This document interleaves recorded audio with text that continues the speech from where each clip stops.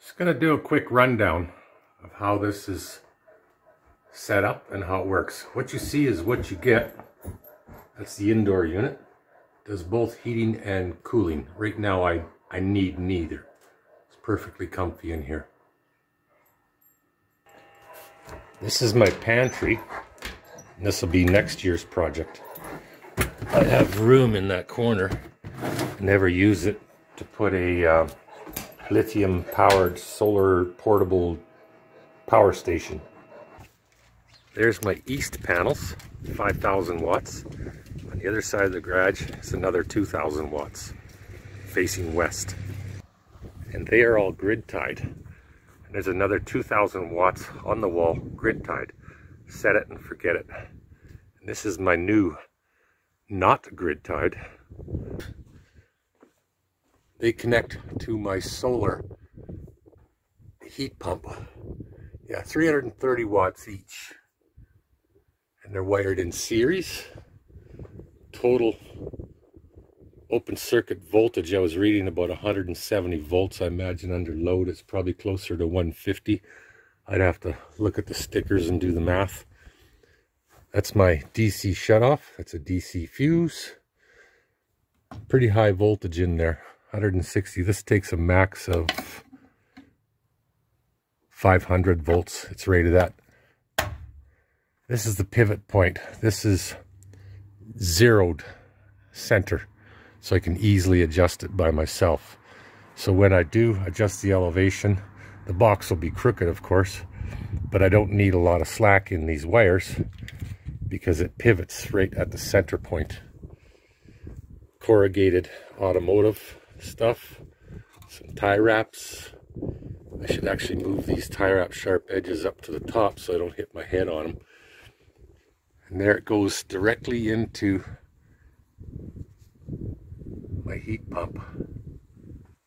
There's the condensate. There's the DC. I wrapped up those wires that were exposed.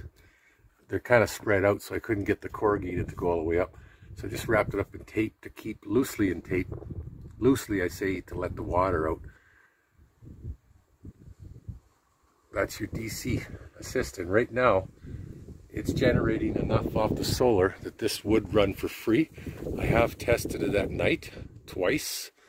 I set it for 20 degrees Celsius and about 3 o'clock in the morning it kicked on and it ran till about 6.30 in the morning. It's that time of year where we're getting down to pretty close to freezing temps. We're getting down to like 2 degrees, 4 degrees Celsius at night. And then I ran it again a couple days later at 21C. And it pretty much ran from midnight till about 6.30 in the morning.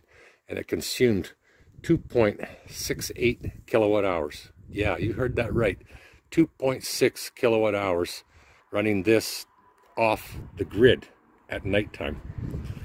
This is just 110 volts in here. A number 10 wire coming in. Oh, I can't, I don't want to take that off for you. There's not much to see in there. There's a number 10, um, 10-3 wire.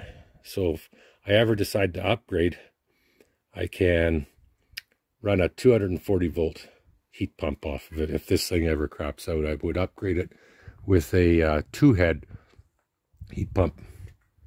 There's not much else to show. Now, when I was showing you the pantry on the inside of the kitchen, that is right about here. And I could run, split, parallel split the DC, run a cable into the pantry, and plug it directly into a um, portable power station, and I did find one that can take up to 150 volts DC, it said. I got to test what my DC is at a load. You don't want to burn it out. The reason I want to do that is I'll be able to cool into the evenings in the summer or heat into the evenings in the winter, and I will run another power cord from the, the portable power station to my 10 gallon hot water tank on the inside and I would run AC from the power station, which will be right about there, to the other side of the basement with 120 volt. Um, I would use a 12 gauge 10 2 or 12 2 Loomex cable on the inside. The reason I want to do that, I don't need heating or cooling, and I'm probably generating about two, two and a half kilowatt hours each per day off of these panels. And it's going nowhere. It's not getting used.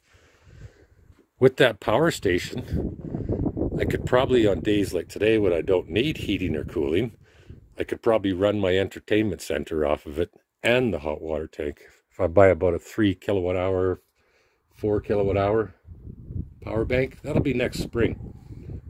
Here's the 10 gallon water hot water heater tank. It's not a hot water tank, it's a water heater tank. you don't heat hot water. Anyway, that's in series with my tankless. If I was to hook that up to a lithium powered power station that charges directly from the DC, I could preheat my water before it goes into my tankless. There's a couple of bypass valves. Right now it's in bypass. These go to and from the 10 gallon tank.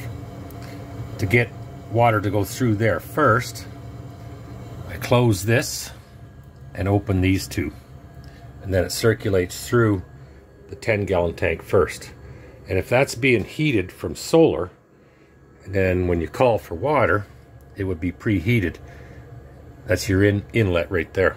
If you preheat the water and it's at target temp, the incoming water is at target temp, this won't even fire. If it's a little bit colder than target temp, no big deal. This will fire and maintain that temperature. I could actually probably set that hotter than this is set for upstairs. I got this calling for 50 Celsius. If I set that to say 52 or 54 Celsius, this won't even fire if the water's preheated. So I'd be saving on natural gas and whatever power this consumes as well when it fires. This is on grid. It runs on solar when I'm exporting more than I'm importing. Genius.